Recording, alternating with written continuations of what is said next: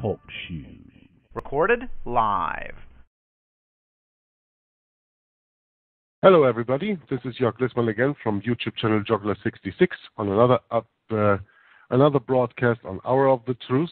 Today we have um, Thursday, the 18th of June, 2015.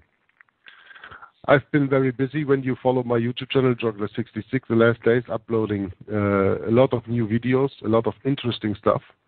Um, and that's not only because I say it's interesting, but uh, when you see that the video uploaded yesterday has already been watched 195 times, um, then that is maybe something I could all advise to go to my channel and have a look at. The video is called Nothing But the Truth Tom Friess on Papal Takeover of America. It's a two hour documentary where Tom Friess analyzes, together with my brother in Christ, Walt Stickle, who is also here on this call and who I will introduce from uh, in a moment, together with Michael Adams, made a broadcast, uh, I think it was in November last year, and they analyzed the visit from Pope Benedict XVI in 2008, April 2008, with George W. Bush, and the meaning of that.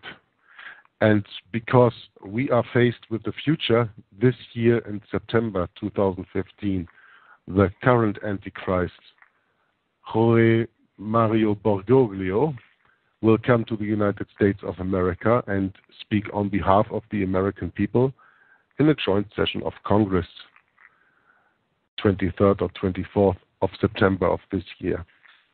And in the light of that happening, it is surely interesting for a lot of people to understand what was the last papal visit about, what was shown on TV, what was said in the mainstream media, and what was it really about.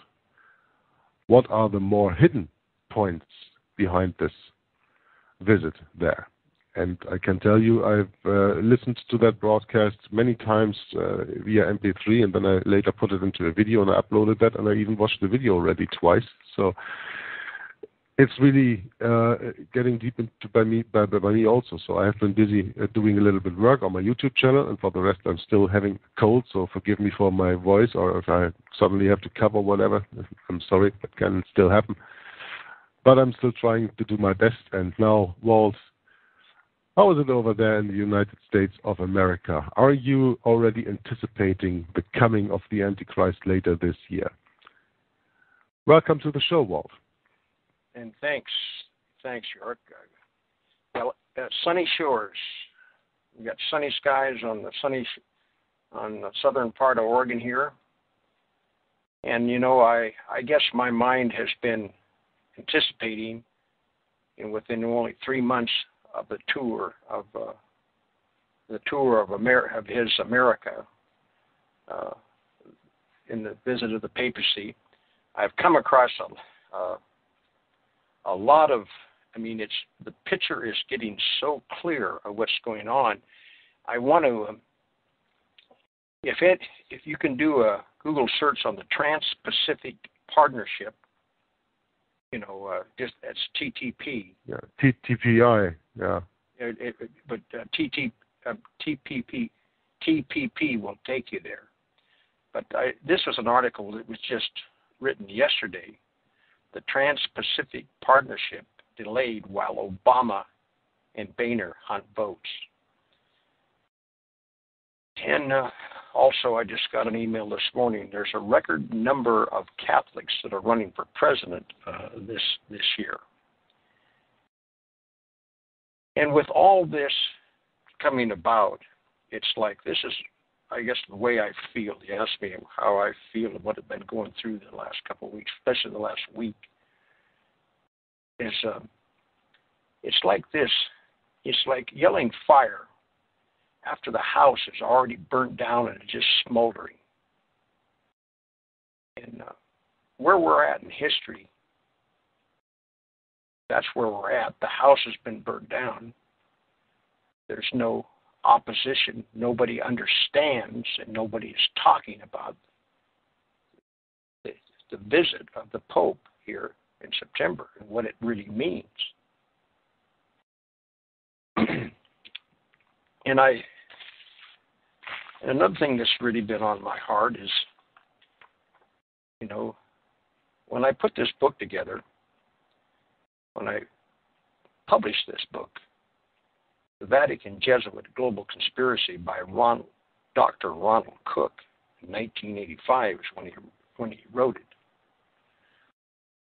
You know, I've made many edits, and when you're a one horse operation, you know, when you're putting something together, every time you print a copy, you find something that needs to be changed.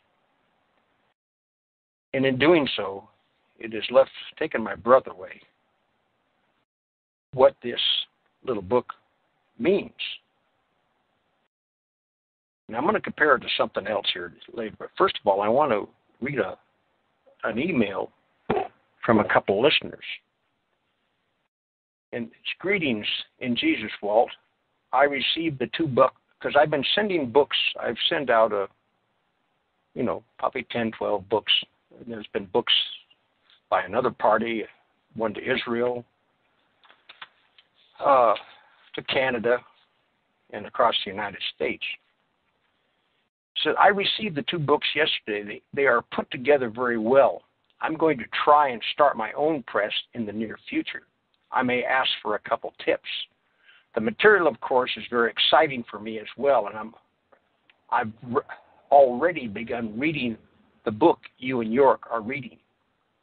Just wanted to say a quick thank you for sending these free of charge. Your effort isn't lost on me. And I'm glad this new information of church history and world history is open up to me as well as prophecy and biblical understanding. The name of the road you live on was lost on me either.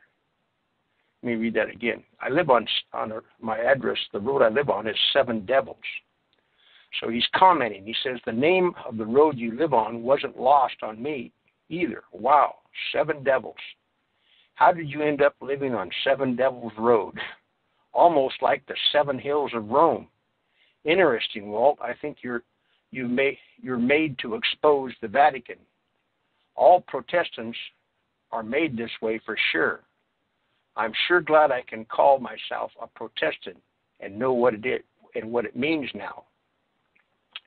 For now, God bless and protect you, your family and your dog Sammy. Then I got a, another email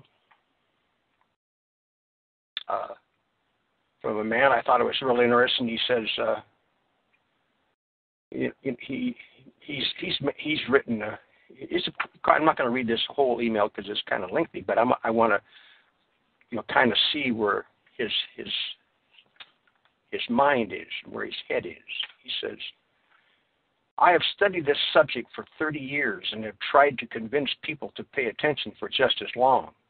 I am convinced that most people just aren't interested in history, and since they never learned about the Jesuit order, they are totally ignorant about the reality of the New World Order. Still, I don't give up.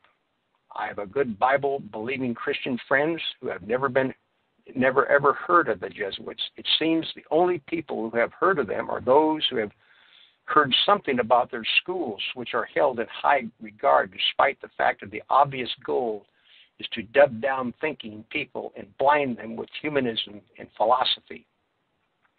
Well put he goes, I want to read one more paragraph. He says, One thing I have noticed that in many of my research leads wind up in, SDA sites are in one way or another are promoted by followers of Ellen B. G. White. Well, I am not an Adventist, but I am disappointed that not more non SDI Bible believing Christians aren't interested in the history of Protestantism. I am not reformed I'm a sovereign grace believer along the lines of the resurgence of biblical teachings that brought about the great Protestant upheaval from the Romish Dark Ages. With all the div- divisitation wrecked, wrecked by the Jesuit Counter Reformation, the Protestant churches were in shambles by the turn of the last century. I believe the modern resurgence of the free grace movement began in earnest with the publication of The Sovereign Sovereignty of God by Arthur Pink in the early part of the 20th century. I believe the scriptures clearly indicate that God has maintained a remnant church in all ages. And I'm amazed that He has not left me to myself in spite of my sinful nature. And uh, words well spoken. And then my, York this morning sends me an email. He sends it's it's the latest um, Chris Pinto documentary, and it's called "The New Age: The Enemy of Christ Exposed." now it's two hours and fifty-five minutes. I I didn't watch every minute of the first two hours, but I watched the last half. And uh, what is interesting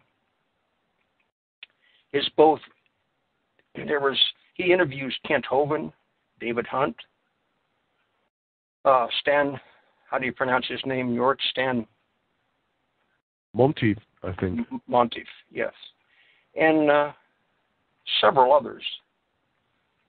And what's interesting to me, it really kind of, you know, sparked my interest in what, what is going on here.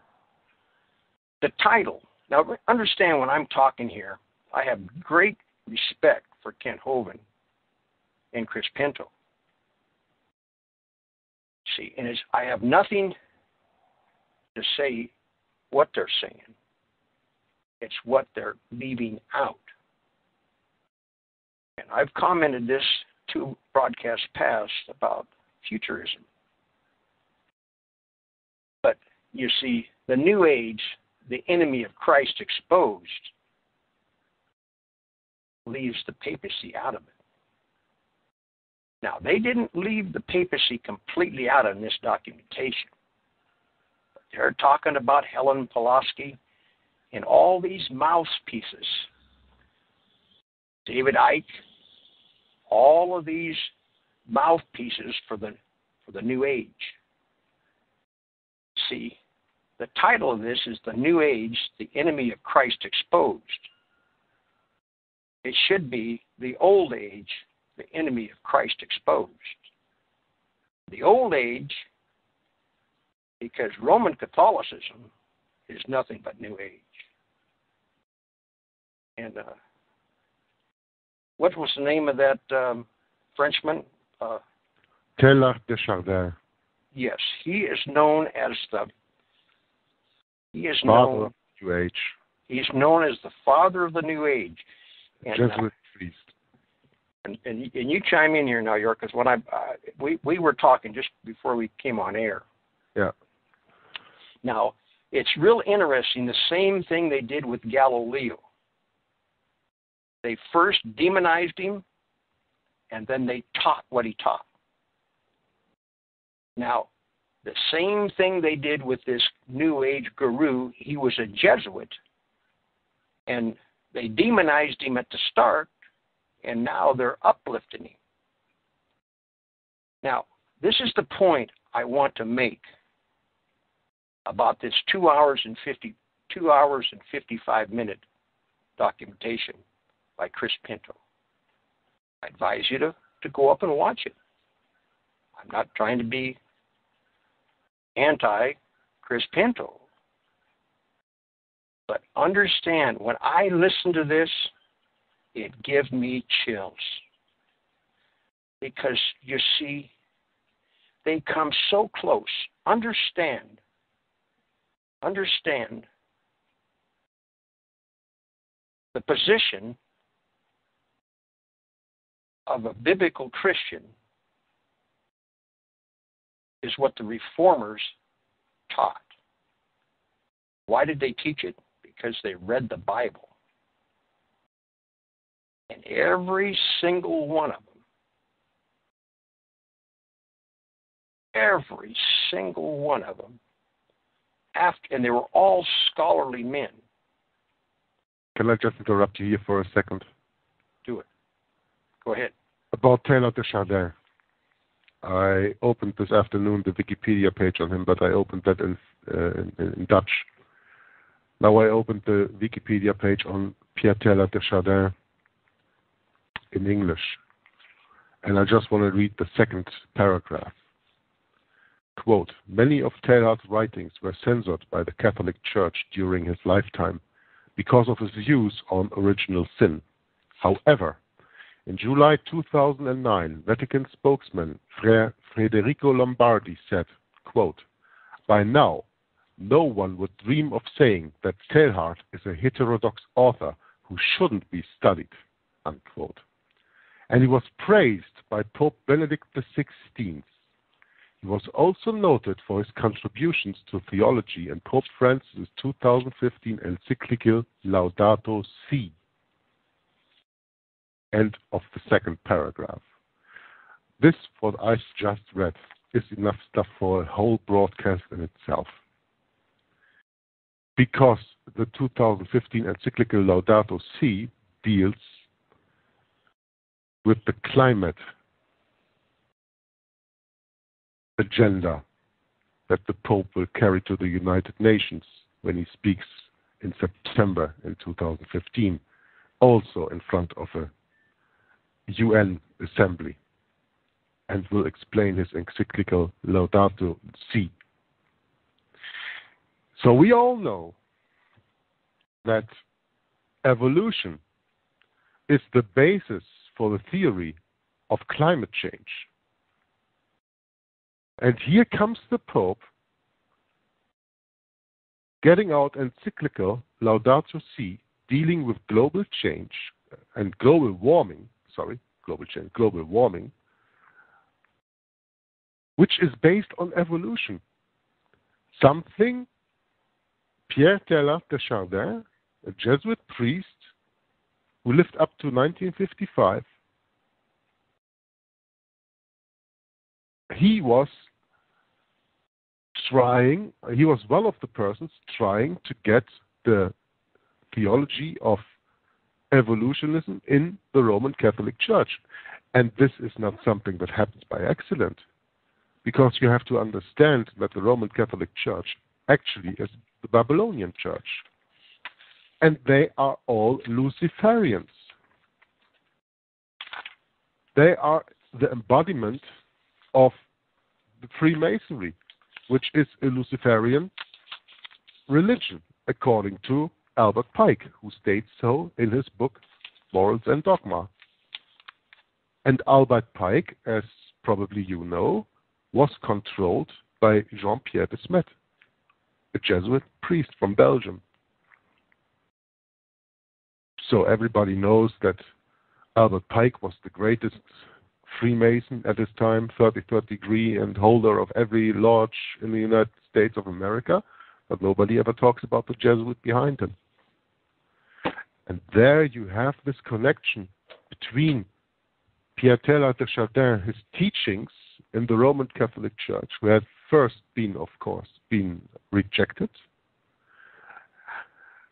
And now Federico Lombardi says, quote, by now no one would dream of saying that Teilhard is a heterodox author who shouldn't be studied, end quote. Walt, I'd love to hear your thoughts on this. Well, it goes back to what I when I'm they're talking about the New Age, the enemy of the Christ exposed, and see the book. It's it's to derail our thinking. You've heard me expound on, you know, if if the word Jesuit is not in your vocabulary, and if you don't know the true meaning of it and where it came from. So that is so why it's so chilling for me when I've been putting this book together. It's the title.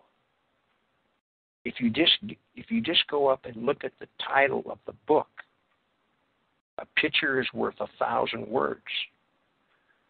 Because the Vatican Jesuit global conspiracy puts it all in one one box. But when you start listening to all of these men that are in this documentation, it's what's chilling to me is see they all not saying it openly, but they're refuting the reformers. And when they refute the reformers, they're literally refuting the Reformation. What built the Reformation was the protest. And what were they protesting? And see, every one of these men interviewed on Chris Pinto's documentary are futurists. Chris Pinto will get so close. Dave Hunt will get so close. Kent Hovind. And the reason why Kent Hovind is locked up is because he's had a voice. If I was talking to Kent Hovind over a cup of tea, I said, Kent, you're not preaching the whole gospel.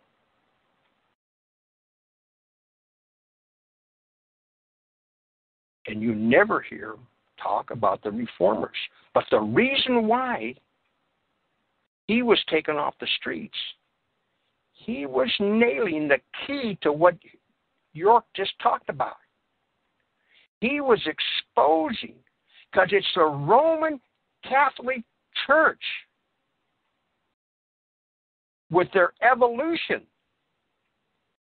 is to take the faith away from the people. Years ago, people sat around on a break after working the fields. They didn't question it. They didn't realize they didn't come out of a swamp in a, in a big bang. And the Big Bang Theory was given to us by a Jesuit. Jean Pierre Lemaitre. That's right. A Belgian again. and you see, see, it's so the reason why, the reason why Kent Hovind has been taken off the streets is because he, he still doesn't really understand his adversary because he's a futurist. In the future, it's coming in the future. This man is coming in the future. They're building a one world religion they'll, they'll, they'll even go as far as talking about the one world religion, a one world government, and it's the papacy all along. It, this is so important to understand. This is it, this is the dividing line. This is how you go about on YouTube and you do your research. And when you understand that they don't know who their adversary is, they're talking about something in the future. It's not a, listen, yes, uh, September is three months away and it's in the future. But the United States has been completely overcome by Roman Catholicism. And because of Vatican II, they were told to go out and occupy political offices. I just got a an email and watched a little two minute video from a Catholic news. There's more Catholics running for president than there ever has. Has been. It's because people are completely ignorant. Hear hear hear this and and and and and, and nothing against Hovind are these futurists, but they're taking people up to the door. They take him close to the door, but they don't open up and tell him what's going on. You you can research and research and research. Yes, Helen Blavatsky, she's a mouthpiece for the New Age. Yes, and Alex Alex how do you pronounce his name? Uh, Aleister Crowley. Yeah, he he's also and he's a Mason and he's part of it. He's a mouthpiece, but who's he a mouthpiece for? They're all Lucifer. They're all Satan worshippers. People have to, and, and one reason why, like Chris Pinto, why he is the futures. If he came out and and and and pinned the tail on the donkey, his support would dry up and go away. You see, you see, you, you I read the email to you at the beginning. I'm not trying to pound my chest because I didn't write this book. The Vatican Jesuit Global Conspiracy. I didn't write this book. I, oh, I wrote a little introduction introducing Ronald Cook. But the reason why it grabbed me is because because of what we're we're we're talking 2015 now. We're not talking about something that's going to. It's here. The takeover of America has happened. The house has been burnt down, and they're rebuilding it completely. And this global warming has been proven to be a fraud. There's going to become a time when I mean there's been there's been many scientists that have came forward. I mean this and and what are they doing? They're playing God. And I listened to Chris Pinto on this broadcast today. He even quoted about the man of sin, the son of perdition. But see, when he mentions that, that that's the man of sin and the son of perdition is going to be in the future. No, no, it's happening right now. And Luther, here's what Luther said quote, If you do not contend with your whole heart against the impious government of the Pope, you cannot be safe you cannot be safe. Whoever takes delight in the religion and worship of popery will be eternally lost in the world to come.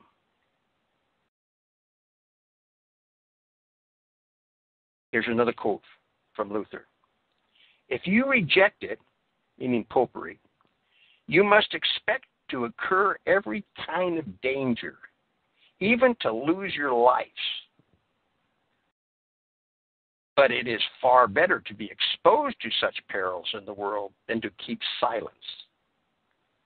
So long as I live, I will denounce to my brethren the sore and the plague of Babylon, for fear that many who are with us should fall back like the rest into the bottomless pit.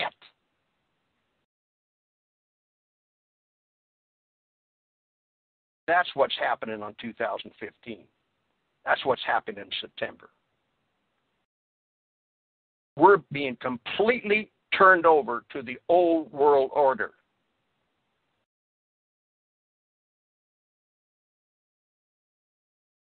And one stop shop for all things pagan is the Roman Catholic Church.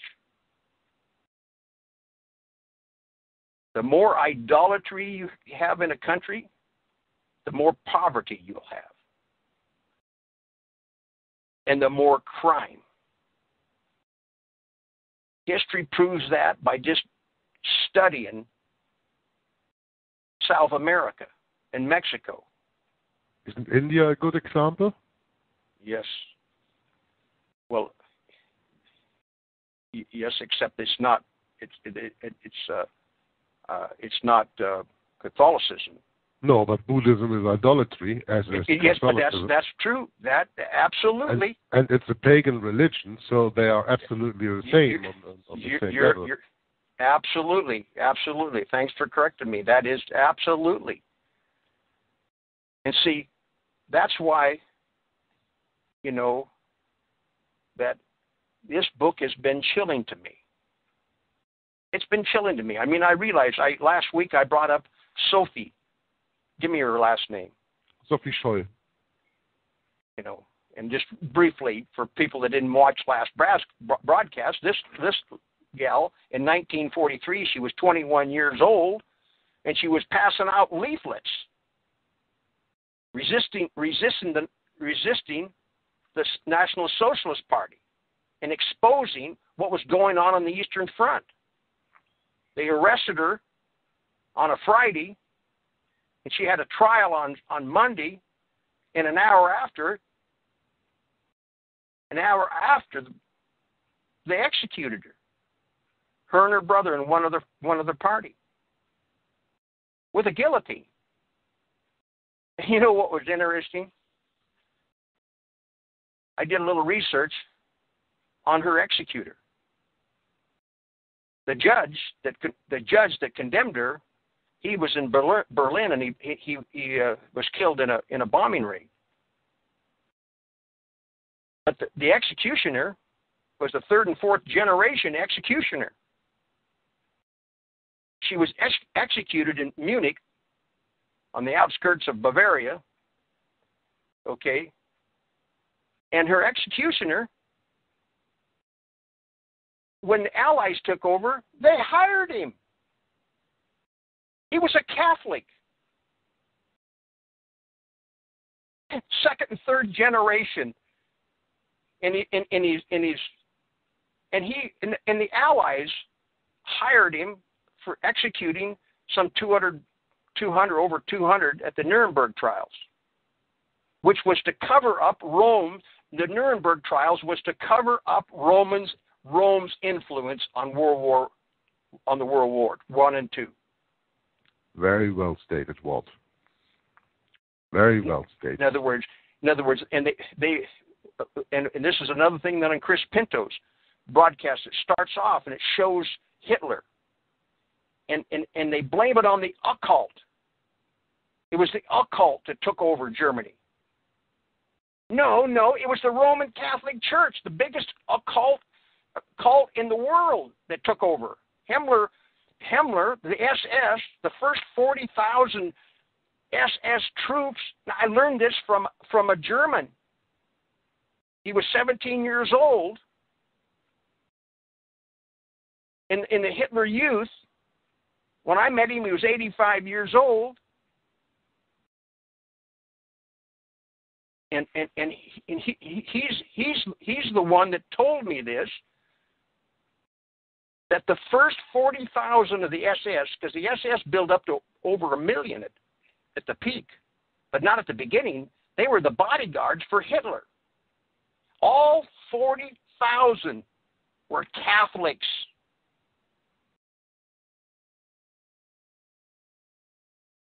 So, so that's also because they were initiated in the Thule Society and in other secret societies that Hitler dealt with.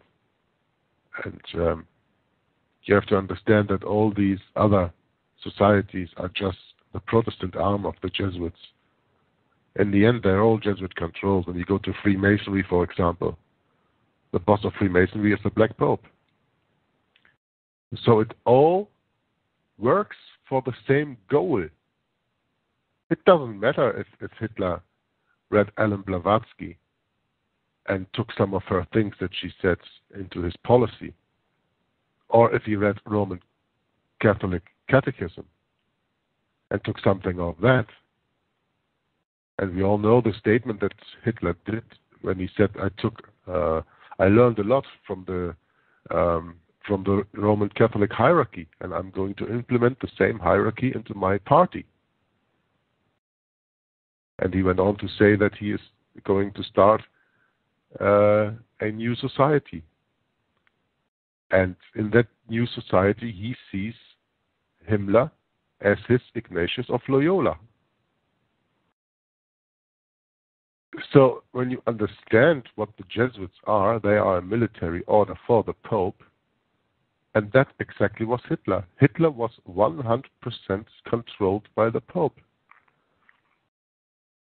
And it's a wonderful web that spins through the 30s and 40s when you see that in 1933 the Germans, uh, in, in the head of uh, von Papen, went to Italy, to Rome, to sign a concordat with the Pope at that time. And the one who spoke for the Pope at that time was Cardinal Pacelli. And Cardinal Pacelli became, after Pius XI, Pope Pius XII.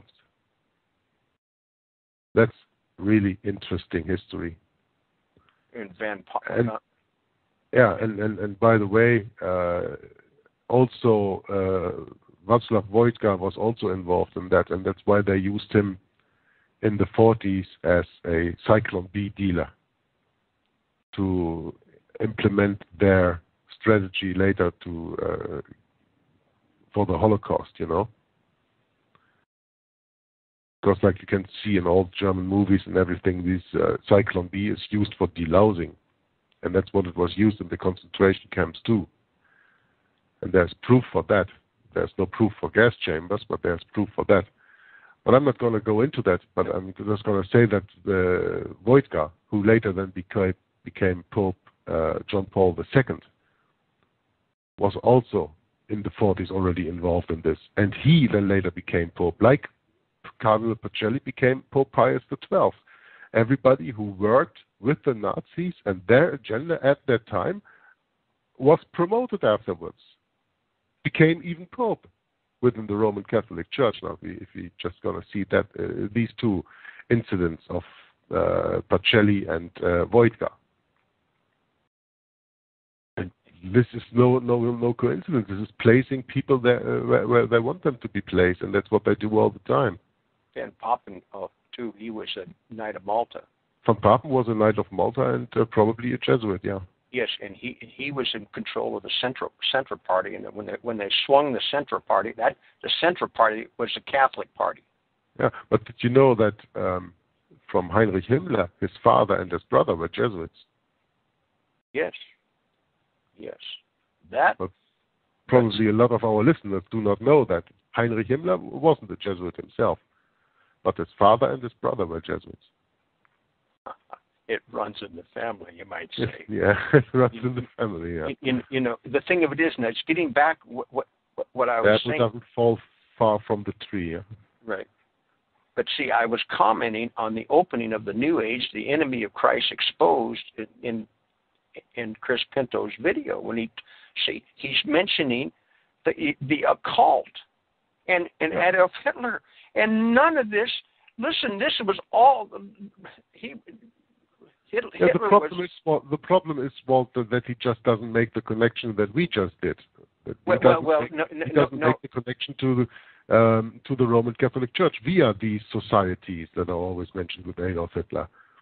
And he doesn't mention that it's all run by the same. It's all run by the Pope, by the Black Pope, first that's, of all. That's, that's right. Because you see, you see, if he got listen, these men, how far they can they go in, that they can reject history? See, by just leaving things out. Just by it's leaving not, things out. It's, it's not, not, that what, they're lying, but he's just not making. He's just not connecting the dots like we just did in our broadcast here. And that's the difference between us, who do not get paid, and people like this who get worldwide fame and get paid for it and all that stuff. That's the difference. We connect the dots. We are not afraid to do that because this is what Jesus leads us to do. Yes. This is why we are doing this. This is why we are doing this whole broadcast. Yes. Is... We are here to connect the dots. And, th- you know, this is sometimes you get comments on, like you also said, Walt, um, that somebody takes you for an SDA or says, well, you, you take a lot of documents that you use for your broadcast from SDA sites or from other sites. Yeah, of course, I take the information from there. But I do connect the dots between these different pages also and see the background of them. And you know, sometimes you have really to say, because you do not like the message, don't shoot the messenger. I don't care what agenda the messenger had to give me that fact, but I'm grateful that I have it. Yes and then I have one source that I can go from. And when I check another source and I see the same mention there, maybe in another in another way, in another meaning or whatever, then I have my confirmation. That is called research. And that is called what I say on my YouTube channel do your own research. And you know, when there are 20 different secret societies who all point in, in, in, in one direction, then it's almost stupid not to connect the dots. It's almost a crime. And that's what these don't do. They they always are busy with one secret society or maybe two and connect these two with each other. but they never tell you that there's even a hierarchy above that. It, it's it's And that is, yeah, sorry, and that is what, what, what bothers us so much. It is not what they say, it is what they don't say. Because if they did that, what we just did here the last 15 minutes on the on the radio, they would not only lose their support, they would go to jail, like Kent Hovind did, for example. because they have a voice. But Kent Hovind, Kent Hovind, they use only as an example. I tell you that. Kent Hovind is not important to them. If they want to shut them up, they can kill him. Don't care. Do you think that in America is anybody standing up because a Protestant would be killed? Huh? I don't think so. But they are using him. And they are using this, putting him in jail, and him getting information out on there. They are using that. Why? In the meantime, his son has his own ministry, and that's a 501c3. So let the people get the name Hovind and let them then connect to the new Hovind, and that one we have in our pocket. Voila. That is how the Roman Catholic Church works. That's, No, please, Walt. Well, and that's that you know that's and not not to be. See, in other words, we're about Chris Pinto or Kent Hovind, but just show it shows you that they're not connecting the dot the dots. The reason, and when I put this book together, understand it's printed right here at my house, and I bind it with Gorilla Glue and put a cover on it. Now, see, I don't have a voice like like Chris Pinto or David Hunt or Kent Hovind. See, but Kent Hovind was stepping on some some uh, sacred ground when he started, you know, when he started talking about evolution, because evolution is is the see the thing of it is he's never because where did this evolution come into our system? How did it came, come get into the our- the academic? And then when you go to a college in this country today, they, I have a friend that was blasted for four years. They want to teach evolution as a fact. It started in 1962, as I learned Yes. in the documentary Yes. today. 1962 or 1963, when they took the prayer out of the schools. A subject that we have been discussing on numerous other times on broadcasts on Nothing But the Truth. We are talking about the externalization of the hierarchy from Alice Bailey and Alan Blavatsky and uh, Lucis Trust connection to the United Nations and United Nations connections to Knights of Malta, etc., etc. It's all in the archives. You can all listen to that. It's it's and and well, listen, we're getting down to the end of this, when we'll get into the book, and I I uh, this book has one of the reasons that it, uh, the more I read in this little book, and plus I have another book that I'm sending. I've been sending two books along one because you can send the same price. Is the papacy is the Antichrist a demonstration? And uh, you know it it it. Uh, you know when you comprehend what you're really reading, and you and and, and then when you see things come about in 2015 when you see all this, it uh, it's not anymore. I don't. There is no speculation here who's who the Antichrist is. You see, you see, the futurists are still speculating. They haven't come to to grips of who the Antichrist is. I can start reading in the booklet now of the Jesuit uh, Vatican Jesuit Global Conspiracy, or I can just refer to a little thing that happened yesterday to me, and um, I, I'd like to share that. Sure.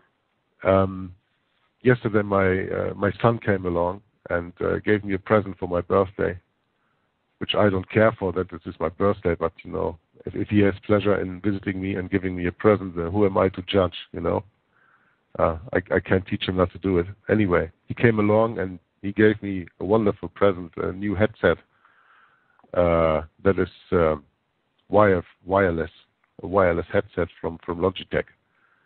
Because he said so when you when you do this radio broadcast on the internet more and more he said then you uh, then I thought you would appreciate a headset like that.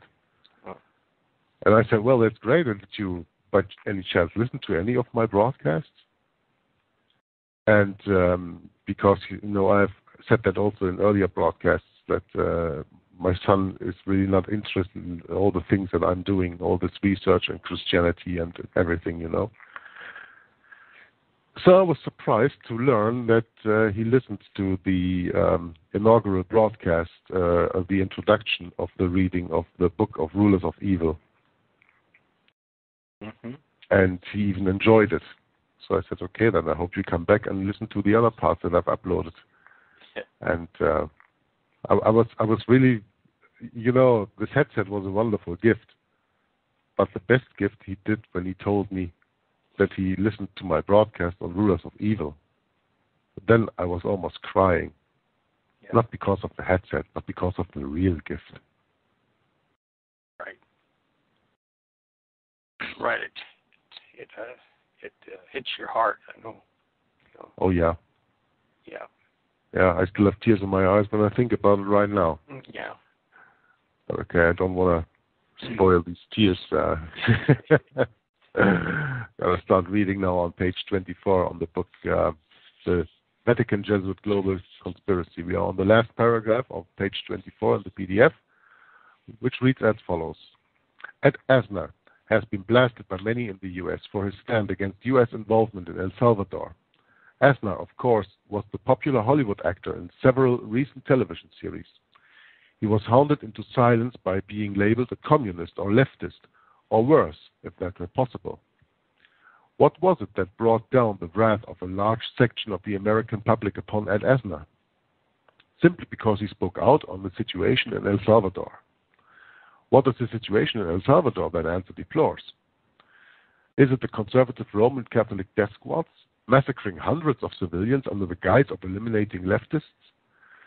It is amazing the leftists are in the world today. Everyone who opposes Romanism is a leftist, Marxist, or communist. The possibility of a Protestant Christian opposing Rome is so remote today that apparently it is safe to label everyone who opposes Romanism as a leftist. A few years ago, one conservative West Coast commentator even called Paisley a communist. This little paragraph ends with, and for the people who do not know who is meant by Paisley, this is Ian Paisley. He was an, uh, an Irishman, Protestant, and he was in the EU Parliament in the 80s when Pope John Paul II visited the European Parliament. And when the Pope was going to start his speech, he stood up in the back of the room, held up a banner, and cried in a loud and very understandable voice, even on the videos that were made from that. Antichrist! Antichrist! I pronounce you Antichrist! And then, of course, he was taken away. So that's why he said a few years ago, because this book was written in 1985, and I think that visit was in the beginning of the 80s or in the end of the 70s. It's also possible that it was in the end of the 70s. But uh, if you want to see that, uh, just type in the uh, YouTube search engine above the video Ian Paisley, Antichrist, and I guess you will get the hit of the video. Uh, there are a few videos out there, and you can watch that. Yeah, Walt, this is the spirit we would be hoping for someone to have when the Pope comes to visit in 2015 in September, right? Like we had some time ago, um, this house stenographer, Dianne Reidy, who took a chance to call out on C-SPAN television that uh, United States of America was founded by Freemasons and you cannot serve two masters and God will not be mocked. And uh, that was a very interesting thing that I even made a old video on. It's uh, been online for about two years now, I think, about about the time. I don't know how long it is ago. Well, But someone like that, someone like Ian Paisley or someone like her, wouldn't that be interesting to see something in September? yes, it'll it'll be a little controlled atmosphere, I'm sure, and but uh, you won't see any resistance. There's no that, that the reason why they're so bold now. I mean, we have a Jesuit. I can't think of his name, Patrick. I can't think of his last name, but he is a house chaplain, and uh, and, uh, and then we uh, and we have a Jesuit pope, and the Speaker of the House is is a Catholic, graduated from a Jesuit university, and the Congress is filled full of Jesuit Jesuit educated people. Of course, Georgetown is right there. And I uh, just read an article off the news last night or yesterday. It was uh, it was about um, yeah, if you if you if you need a uh, if you need a good man, hire a Jesuit. And this man uh, that's writing this article in Huffington Post, I mean, he's uh, educated at uh, been to a, a Jesuit high school. He went to Georgetown University, and he's advocating if you need a uh, to replace an important person, you know, uh, you know, with a Jesuit education. You know, and uh, and I can't quote you the Bible uh, passage, but we've all heard it. Uh, you know, we are living in the, like the days of Noah. Oh yeah. The people, the, the you know, so in other words, uh, uh, this this this what's going on here in the next three months is there's going to be some big moves. I mean, in other words, they're pushing for their they're they're using the, environment and global warming and the Pope's encyclical on climate change. And don't you think that this global warming, who started that? Who's been keeping that going? you know, and uh, so anyway, uh, no, no, I I I would uh, hoped to be a Paisley, and, and if I was in, if I had a chance to be in the, in the, in the chamber there when he Pope come in, I, I mean, they're going to they're going to do the same thing. They would do the same thing they did to Dianne. Yeah, they of would, course.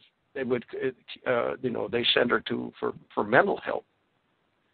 See, I mean, in other words, uh, the laws are on the books already that, uh, you know, uh, that they all they have to do is uh, declare you insane and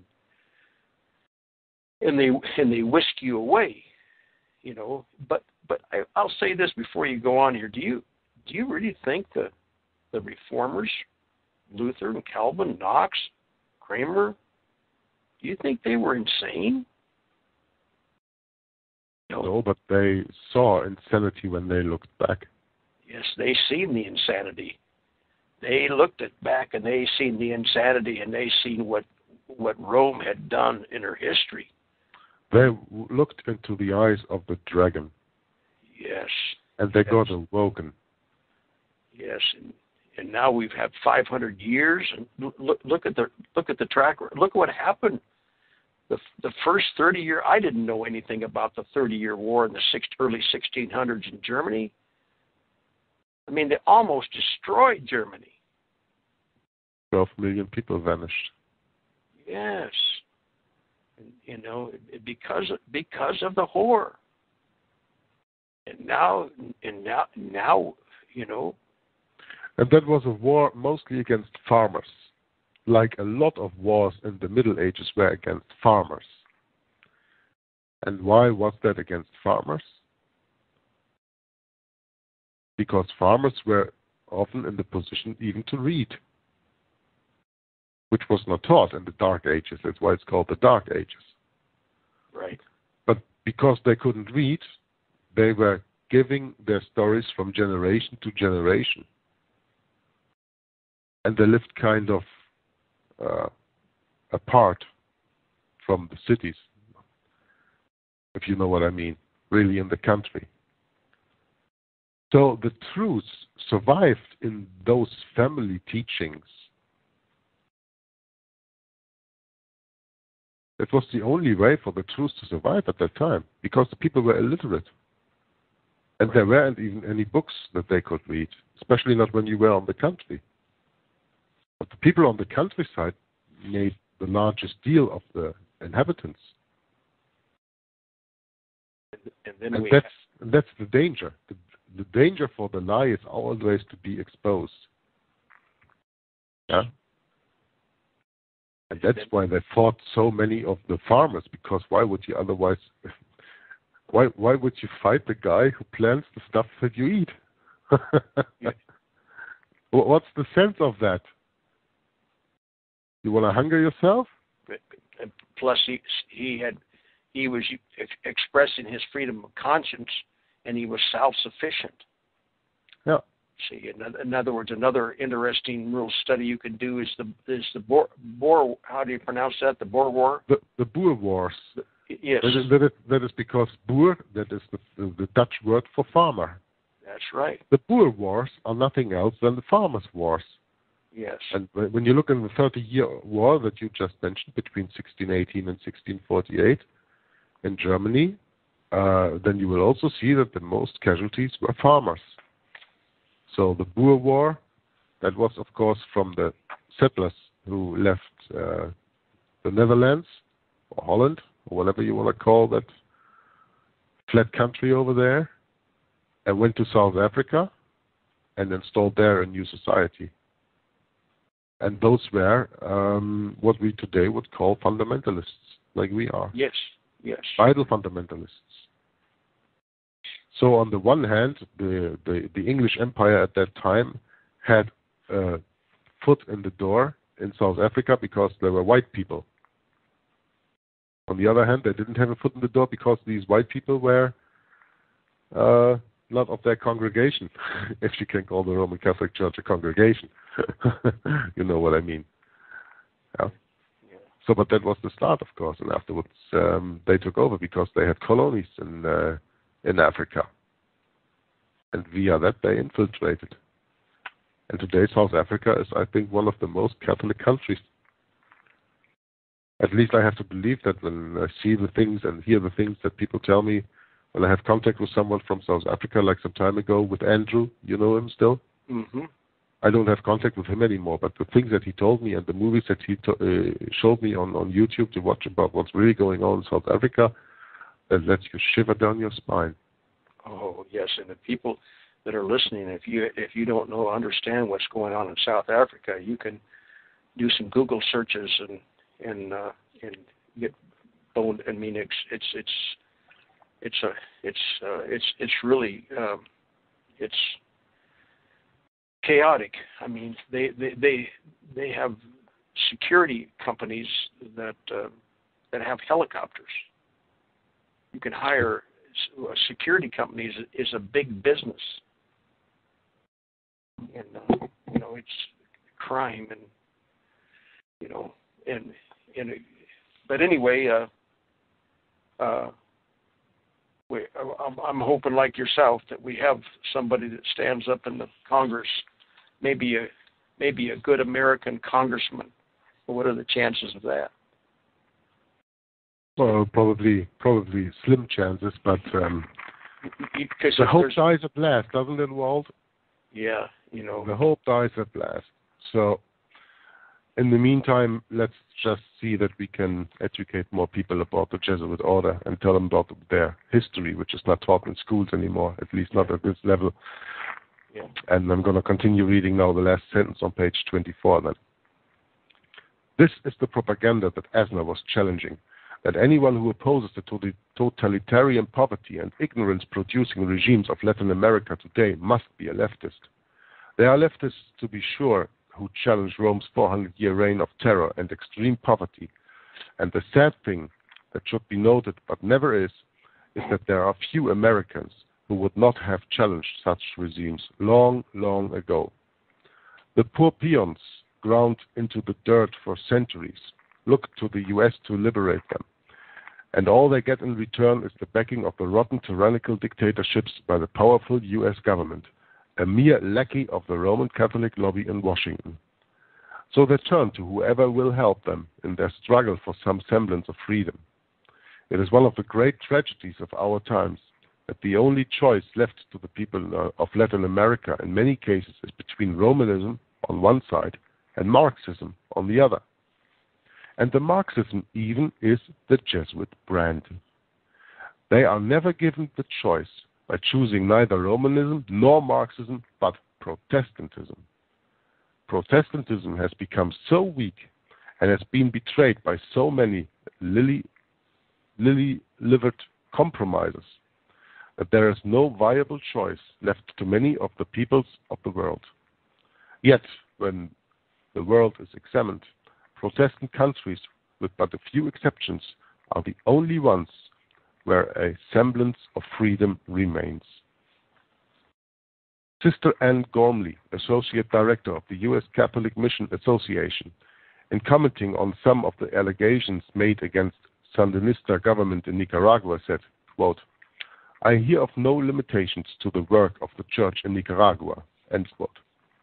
She also said that it is good to have four churchmen in high government posts in Nicaragua. So although there are many uncertain sounds emanating from Nicaragua, the Vatican is deeply embroiled in the present government, and no amount of double talk can dispel the fact that at least four sons of the church have the highest posts in the uh, Sandinista government. We certainly do not try to play down the fact that there are apparently deep rifts between some local priests and nuns who side with the poor and believe in liberation theology, and the present Pope, who is opposed to them. But the bottom line is loyalty. If the leftist leaning clergy and political leaders promise to remain loyal to the Vatican in all their intrigues, then the Pope will overlook their Marxist ideology, even as former Pope overlooked the Nazi ideology of Hitler and his henchmen. That makes a very good reference to what we were talking about earlier on this broadcast, right? Right, right. One modern writer commenting on the situation in Nicaragua said, quote, The major target of the U.S. is the Sandinista government of Nicaragua, which is now considered a Marxist regime. The truth of the matter is that there are more Jesuits and Jesuit-controlled individuals in the Sandinista government than there are individuals in the whole of Nicaragua who have gone beyond the first chapter of Marx's Capital. End quote. The same writer went on to note that it is difficult to tell the difference between Andropov and a Jesuit, especially when the Jesuit is wearing a red Andropov T-shirt. Andropov was at the time um, the president of the USSR, right? Right, right. Uh, that was begin 80s, as far as I remember. Yeah, that was Andropov. In other words, the leftist regime is very definitely and very closely intertwined with Roman Catholicism in general and the Jesuits in particular. The guru of the Sandinista revolution is Ernesto Cardenal, a Trappist monk. The foreign minister of Escoto, a Maryknoll priest, and the brains behind the whole operation, Fernando Cardenal, is a Jesuit. When these three Marxist Roman Catholic clergymen joined forces with the strongman Daniel Ortega, who preaches uh, about a revolutionary being a Christian and vice versa. It is indeed difficult to escape the blanket of Jesuit casuistry which seems to cover the revolution in Nicaragua. If we are to believe new, society, uh, the new Solidarity paper, which takes a definite Roman Catholic stance, there is not much hope for the liberation of Nicaragua from the hands of the Vatican Jesuit connection. For this paper states that the man in the US is grooming to replace the Sandinistas. Eden Pastora, who is now building a base of operations in Honduras, is Jesuit controlled himself. So that even the Sandinistas were removed tomorrow, another Jesuit controlled man would be installed, this time with the help of the CIA, Catholics in Action, and the United States government. Where the Jesuits end and the Marxists begin, is certainly a difficult question to answer. But one thing is certain as of this writing the Jesuits are in control of Nicaragua. All the banks of Nicaragua were nationalized when the Sandinistas took over, except the Ambrosiano group. This group mysteriously escaped nationalization. The reason being, of course, that the Ambrosiano group is controlled by the Vatican. this is really funny. of course, you don't have to nationalize something that already uh, you, that already you own, huh? Right. right. The Vatican has kept the people in Central America in ignorance and misery for four centuries. It is in the interest of the Vatican to keep its stranglehold, a stranglehold on these nations. They are doing so either by the death of uh, by the death squads in El Salvador or the Jesuit Marxists in Nicaragua, but they are maintaining their hold over the people. The U.S., as a Protestant country, could bring some pressure to bear, which would really liberate the people from both warring fractions.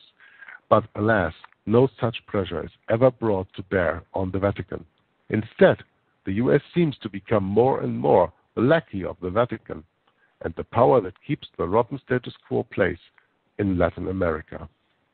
Well, I, you know, uh, Ronald Cooke uh, wrote this in 1985, and if we were talking to Ronald Cooke today, in 2015, I, you know, it's they're not a lackey anymore.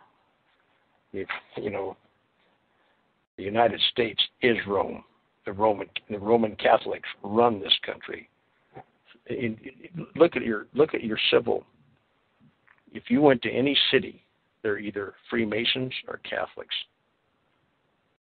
It's it's it's it's that's why I said at the beginning of the broadcast, the building has been burnt down, and uh, sometimes I feel like you're sitting here yelling fire, but it's already it's it's already burnt down. It's, you know, but there's but, no fire left to warn the people from. but, well, and the thing of it is, you can't deny what's about to happen with this uh, TPP treaty and uh, and the climate uh, encyclical. Yeah, all this. The TPP you know. treaty is first and for all um, the death of healthy nutrition in Europe. Is because with that with that treaty, Monsanto gets an open door here. Is that right? Yeah. Absolutely. And yeah. and and uh, Boehner now is looking for votes. Uh, it, it wouldn't, uh, you know, I don't. It, they're still having trouble to pass it, but it wouldn't. It wouldn't. You know, you know, surprise the, me that they pass it before before. You know, the son, the son from Joseph Biden, Hunter Biden, died a time ago. Yes. But did you know that he was working for Monsanto that they built up now in Ukraine? Did you know that? No. No. And probably our listeners don't know that either. But Hunter Biden is Jesuit trained, like his father. His father has, I think, at least two degrees. One is from Fordham, another one is from. Uh, from Stratton.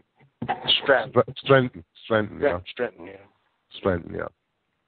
And uh, probably Notre Dame also, like uh, Obama has an uh, an uh, honorary or whatever uh, alumni from Notre Dame. And so the son of Joseph Biden died some weeks ago, days ago, I don't know. I mm-hmm. watched a video on that, and that brought into me because there, of course, was no. I think that was a video from RT, you know, Russia Today, and there, of course, was no mentioning of Hunter Biden working for Monsanto. And um, if you want to understand that, we have to go a little bit deeper into the Ukraine, which has also been a very interesting part in the World War II area. But the Ukraine is like uh, the wheat chamber of Europe. It always it always was. Yeah. So when you got your fingers on the food chamber of Europe with your genetically modified organisms, then you have a very good um, step in, right? Right. So that's what they're doing in Ukraine, and that's what they are doing, of course, behind closed doors with the TPP agreement, which I call TPPI because I mostly watch German television on that, uh, or German news on that, and I think they speak of TPPI, so I don't know where they put the I in there, but it's, it's the same contract. It's this deal that the re- European Union is dealing out with uh, America trade agreement, and that would open all doors for Monsanto and all other practices that we are only aware of on America will come over here to uh, to Europe too. And that will probably become the end of organic farming in the long run. Yes. Or you can only farm what they sell you, you know. Um, this is right on the door too. There, you know, like I said, this article I read this morning was. And then you have to see then you have to see Monsanto in connection with the global warming hoax. Yes, yes. I mean, in in, in other words, because uh, Monsanto was was uh, was was founded by uh, Knight of Malta. Mm-hmm. And it's still run by a Knight of Malta. Yeah. yeah. I don't know who the, but uh, you know, it all it all it all goes back to that word called Jesuits. See, that's mm-hmm. that's what's. Yeah, that's why I also mentioned it because uh, Joseph Biden's son was uh, Jesuit educated. Yeah. And yeah, we're it's it's in it's interesting times now. It's just it's it's I mean since the house is burnt down, I'm just you, we can just sit back and kind of watch this, and God's children, uh, you know, when you're reading the Bible and under and you understand the uh, revelations, you you you're not running around uh, trying to figure out what's going on. See, I mean, and that's in other words, the the reformers figured that out 500 years ago except uh, that's been taken out of our, swept out of our minds and out of the Bible colleges and yep. in, seminaries. And so they, so in other words, it, and it's simple. It all goes back. They they completely destroyed the protest. They took the protest out with futurism. Well, like our other broadcast was called what? The Jesuits derooting the Reformation. And there were two great reformational countries on the earth on one moment at time, and that was Germany, and that was the United States of America, or the 13 colonies on the other hand. Mm. So, as well as Germany, as is the United States of America, a root of Protestantism. Whether the protest is alive today or not, it is the root of Protestantism. And the Jesuits always go for revenge. And they went on revenge for Germany and thanking them for Bismarck and the Second Reich throwing out the Jesuits and giving payback with World War I, the Treaty of Versailles, and leading up to World War II. And in the meantime, they got rid of a lot of Protestants. And uh, did you know that you know that in, on on D-Day in uh, 1944, when the Allies uh, ran on, on, uh, landed on the French coast, that these landing boats, these first landing boats they sent out, were all filled with Protestants. They were special chosen, and you know they had this Omaha Beach, and I don't know all these different names on there where they landed on, and there were special units from there and there, and they were selected and they selected Protestant soldiers. It was a killing field. And it was a killing field. I mean, when you when you just have a look, when you just want to let us get a slight idea of the horror that it must have been, if you can capture that horror on the screen, then you should watch uh, the movie Saving Private Ryan. In the beginning, there is a, a scene that plays for a few minutes on this landing beach site, and what you see there lets you shiver and that's only what they do in a movie. That is not real war. That is not real blood. And those screams are not real because you are watching television or whatever to watch this. But something else when you are in there and you live it. I can tell you that. Well, and one other thing, you know, like World War II, uh, they physically, with the World War II, was to, to it was payback and to completely destroy the protest, uh, the protest part of Germany, which was East Germany, which they made communist.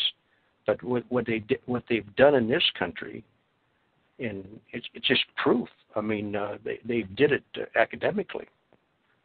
They took over all the universities and uh, took their history away. And uh, here we have uh, the biblical Antichrist coming to speak to a joint session of Congress on in September, and there's not going to be even a peep. I don't see anybody saying anything. I mean, you know, you know, Texe Marrs is not going to say anything. I mean, uh, Alex Jones is not going to say anything. You know, the Hagmanns aren't going to say anything. Joe Joe Hagmann, he he he studied to be a priest. He's a, he's he, he's a dropout. He just didn't make it, you know, and uh, and but they'll talk about anything that. But boy, when it comes to it's like I said, you know, it, it, when it comes to it's and they they did it, they did it through futurism in this in this in this country. Once they got a hold of the universities, once they got a hold of the seminaries and the Bible colleges, I mean, first and for all, first and for all, the ecumenical movement. Yeah. Don't forget that. Yeah, yeah, but that's because that, that was that was an absolute target from the Vatican in the 60s against the United States of America. They knew they wouldn't have the time to build the Catholic Church as strong as it should be when they just go within their own terms. So they started the ecumenical movement to get control of all the Protestants. Well, and when you look today in America, in the, in the United States of America, to all the organized churches, how many of these churches, of these mega churches with millions of participants, we spoke about that on another broadcast too. Um, all these uh, these mega churches there. I, I, I, lost my train of thought here. Um, they are 501c3. government. They are by that, but when you are a 501c3 organization, then you are a government agency. That's in the contract. Read that. It's online. You can look that up. But uh, the last chapter of this book that I put together, the Vatican Jesuit Global Conspiracy, the last chapter is written by a young man that I that I uh, corresponded with for a while. He wrote this. I think it's the best article I've come across. But the ecumenical movement, it, it's called "The Christians and Babylonian Politics: America's Founding Fathers Blasphemy, Blasphemy mm-hmm. Jesus Christ." But yeah. the ecumenical movement started in 1776. In other words, the, the, the, that that diffused. I mean, in other words, it was by law. They had just as many. They had Rome. Rome had just as much many rights to to to uh, to uh, to practice their religion, you know, and they were less than one percent. You know, they were less than one percent, but you know the the salt was here, this country. Yeah, the salt was there. The salt was here, and you know, and it was a it's a big country. I've been back and forth across this, and you know, it's not it's not like uh, the United States is a lot different geographically. Uh, like I said, uh, the East Coast is is a uh, it's a completely different culture. Even today, when I used to go back to Pennsylvania, and I'd pick up loads, and I'd and I you know, uh, and I, and I'd go through, I'd go through, you know I took one load into New York, but in other words, it's a different culture. I mean, I uh, uh, when the people moved west, you you go. I I've rode in a, an actual real live with real live cowboys in Nevada.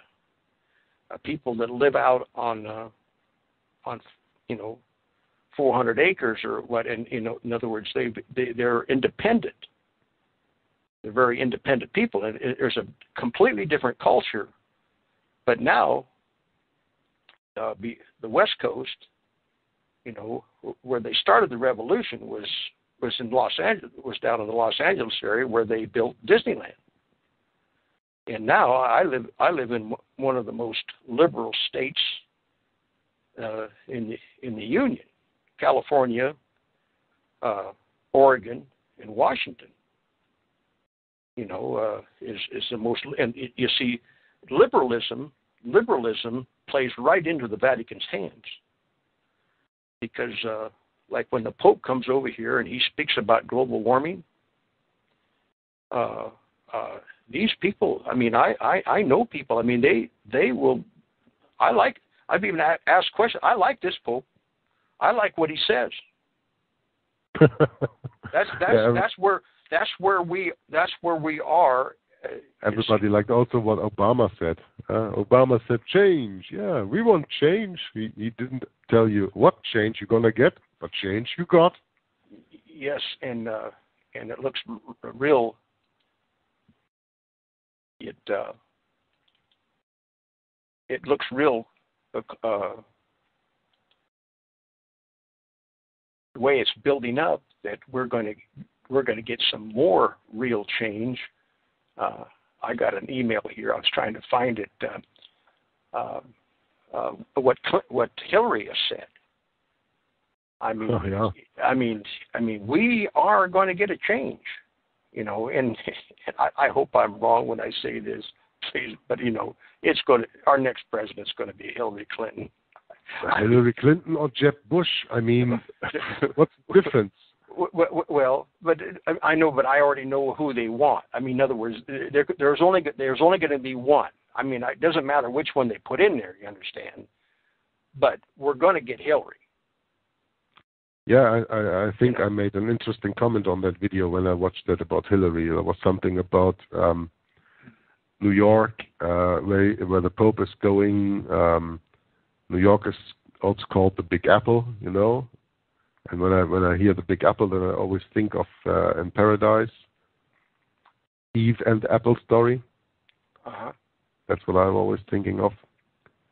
And uh, made the connection of when Hillary then is the president, and uh, she comes to uh, she comes to New York or whatever uh, in the Big Apple. That is like uh, the Antichrist is a woman. You know, hmm going to there and showing the Antichrist is a woman. Of course, a woman in the biblical sense is a church. Now, listen, I found this statement that Hillary said. Okay, this Yeah. is in a speech. Presidential candidate Hillary Clinton stated this when speaking on on women in the world. She says, "Deep-seated cultural codes, religious beliefs, and structural biases have to be changed." I mean, let, let, let me tell you that, that, that, that she's not bashful, okay? And people are, and, and, and listen, listen, it, it's all rigged. The whole thing is rigged. Uh, but, but, but, uh, but I know by mingling with people in in our society and reading the comments, where you really get an education is you read some of these um, when you're reading the comments on some of these videos. You'll see just the mindset of, of what they've done to to the minds. I mean, people. You see, God created individuals. There's only one Jörg Lisbon, and there's only Walt, one Walt Stickle. Every one of us are individuals. we've got a different blood type. I mean, uh, not type, but DNA, and and we and they've proven that we run on a frequency, and everyone's got a different frequency. Every single one of us is an individual, and individualism has been under attack for years.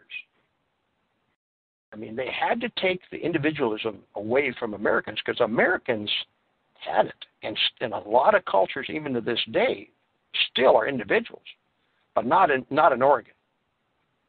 Not in Oregon, you know. Or California, they've they've you know in in other words, they they turned they they uh, Walt, Walt Disney- individualism individualism versus um, what's the name? I just had it. Oh, I, I, I lost it. Um, ah. collectionism. co- collectivism. Collectivism. Yeah, Yes, sorry. yes. I really Yeah, have yeah, yeah. I really have to search in my in my brain that's, for that. that, that that's what they promote. In other words, they want us to think as a group. See, see, and Yeah, God's, it's chil- God's children don't think it's a group. It's individualism against collectivism. Collectivism is communism, socialism. Yes. Whether you have it from the right side or you have it from the left side, it's something that I always try to put in the minds of our listeners. Again, the National German Social Workers Party was socialist. It was national. By that, it was from the so-called right political wing, but it was still socialist. And whether you are a national socialist or you are a universal socialist, uh, what you all have in common is that you are a socialist, right? And socialists always have the same goal, and old socialism leads eventually to communism, which No. is nothing else than a totally controlled society, which we are absolutely going for. I mean, everybody can see that. Oh, y- And that takes away the individualism. But okay, you are of course told, well, individualism, you have that because you have the biometrics now when you can start your iPhone with and all this. This is all personalized, it's all individually solved, you know. They tell you there are individual solutions in this, but it's a collectivist agenda behind that. You know? Yes, and I mean, you know, it can't be said enough of what they've done with mind control. I mean, and see, when you turn everything off and you open the Bible, you will acquire. If you turn everything off and you start reading the Bible, you will acquire a sound mind. The best is mm-hmm. go somewhere where it's quiet, go somewhere in, In, the in woods other words, won't be outside. jumping to every. or outside and, and sit there and read your Bible. That's the best thing you can have. No distraction from cell phone, television, radio, whatever. Just go outside and, and, and sit outside somewhere where it's peaceful and, and read the Bible. And this will be a whole other experience than just sitting in your home and doing it. and you know where you find out where the world's at, and you'll find out how much the new age, you know, this this uh, is is asked somebody the question, what is sin? You will get their religion because see, what we're living in an atheistic society. They've taken their faith away with evolution. So, you know. Uh, uh, there is no right and wrong. And and uh, but but uh, Hillary is going to is going to change that with a deep-seated culture, codes, religious beliefs, and a structural bias have to be changed. She, you know, that's what that's what they're doing. When I see the school bus go by here in the mornings, it gives me chills. It gives me chills because I mean they're they're not they're not learning. Of course, I'm not. look look at me. I'm a I'm a baby boomer. Did I learn anything? Did they teach me any history? I learned about World War II through the movies. You know, I used to when I was growing up, ten, twelve years, I used to play war. Can you imagine? It's embarrassing to say that, but they, they, they, listen, anybody in my age group, Hey, I played cowboys and Indians when I was growing up. because you've seen it on the TV. you see, and, and even they, they even got uh, uh, Western bars over in Germany. Yeah, like they have Playhouse also in America. Yeah, you know, I mean, you, you know, in Music other, cafe. they uh, they they they molded. Uh, you know, it was like this. I heard this from Stuart Crane. This is a man I I just when I was out on the truck, I used to he I had several of his lectures, and he he would say it like this. He'd say, "Doesn't matter whether you're in Florida, California, Washington, or wherever you're at. They're playing this. You go to they they got high schools. They got a high school, and they got a they got a M- McDonald's. I mean, you, you take your eye. In other words, they could blindfold you, and and I seen it when I was in, driving back and forth across the United States. See, at one time prior prior to the fifties, uh, there was a big difference between What's, going the, down. what's to the time, Walt? Yes, I am. Oh yeah, we only got a, about 36. But there, at one time, there used to be a big difference. There used to be a big difference in, in different parts of our country. There was a big marked difference, but there isn't anymore. There isn't anymore. They're all no, gone. no. You know, I mean, uh, you know, but I know one thing. I was always glad to go west. West when I was in the truck. So anyway, listen, we're coming down to 10 seconds. You want to say goodbye? Yes, I'd like to say goodbye. Thank you for all the listeners and people uh, later on who will watch the video to follow the broadcast Hour of the Truth. I thank you very much for your attention. Wish you all a very good day and night and hope to see you next week. And until then, God bless you and bye bye.